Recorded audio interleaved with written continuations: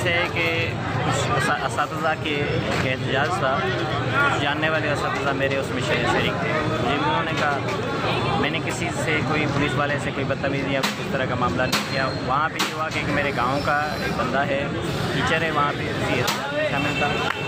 उससे उन्होंने mobile phone छीन लिया और बला वजह छीन लिया। बैंक चार्जर जो होता है उसके साथ अच्छा वाला था।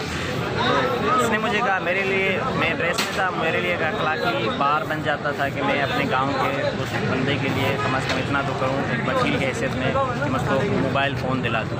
मैंने पुलिस वाले से पहले आराम से बात की कि भाई, आप मोबाइल आप बिना ऐसे वापस कर रहे हैं।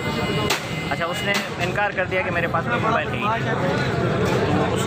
डिस्टर्बेंस थी तो मैं फिर साइड पे चला गया। मैंने कहा आप तो बात करना है अभी इस तरह का मामला है। अच्छा जब वो थोड़े अपना जो उनको कार्रवाई करनी थी, मारा पीटा सबको, मेरे सामने लोगों को मारा, ये कोई कानून नहीं है कि आप उसको अरेस्ट करते हैं, उसको मारें, पीटें, उसको करें, सारा कुछ करें। अच्छा जो कुछ उन्होंने किया, उसमें मेरा कोई इंटरेक्शन नहीं थी। मैं साइड पे खड़ा रहा, मैंने कहा, ये मैं कुछ नहीं कर सकता, क्योंकि ये सिस्टम इस तरह से चल रहा है। फिर जब वो थोड़ा पीसफुल हुआ मामला तो मैं फिर पुलिस वाले के पास चला गया। उसी के पास जिसको उसी बंदे ने आइडेंटिफाई किया था मेरे सामने कि इसने मेरा मोबाइल छीना है। मैंने उसको जब कहा कि आप मोबाइल इसको वापस कर दें तो उसने मुझसे गालम गलोच की मारा पीटा धमकी दी तो ये सारा कुछ आपने बाद में वीडियो में देखा मैंने एप्लीकेशन दी एप्लीकेशन मैंने थाने पे दी जो मेरी एफआईआर उन्होंने नहीं काटी ना मेरा बयान लिया।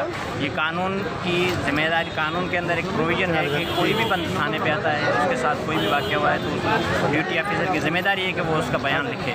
लेकिन उन्होंने रिफ्यूज़ कर दिया मैंने अपने लिखत में बयान दिया उन्होंने लेने से इनकार कर दिया। फिर मैंने वो जाकर टी कर दिया वो आपने सोशल मीडिया पर या कहीं से देखा देखा होगा मैं आपको प्रोवाइड भी कर दूँगा। अच्छा सर अब आपका क्या मुतालबा है? क्या होना चाहिए? मेरा मुतालबा यही है कि उस जो भी पुलिस वाले वहाँ पे इन्वॉल्व हैं उनको अरेस्ट किया जाए एफ़ की जाए और प्रॉपर कोर्ट के अंदर जो केस चलता है उसके अंदर वो सारा कुछ होना चाहिए। अगर उनके आप अगेंस्ट में प्रूव कर लेता हूँ तो प्रूव होना चाहिए। अदरवाइज़ जो भी कोर्ट का प्रोसीजर है उसको अडॉप्ट करना चाहिए। ये नहीं है कि काले कोर्ट और एक सिटीज़न का ये राइट है कि वो अपने कानून का मदद ले। ऐसे नहीं है कि आप मिस हैंडलिंग करें आपको अरेस्ट करने का कानून किस तरह से होना चाहिए। ये सारा कुछ प्रोसीजर के अंदर लेकिन आप जो पुलिस वालों ने एक नॉर्मलाइज कर दिया है कि किसी को आप पकड़ते हैं, उसको मारते हैं, पीटते हैं, उसकी इज़्ज़त, नफ्स को तबाह करते हैं और आप उसको झुकाने की कोशिश करते हैं। और यही उसका मामला है कि तशद और टार्चर का जो तरीक़ेकार इस मुल्क के अंदर चल रहा है, वो उसका आप ये सबूत देखें कि काले कोर्ट के अंदर एक लॉ ऑफिसर है, वकील है, कानून को जानता है, उसके साथ ही कर रहे हैं तो सिटीजन उसके साथ ही क्या करते हैं?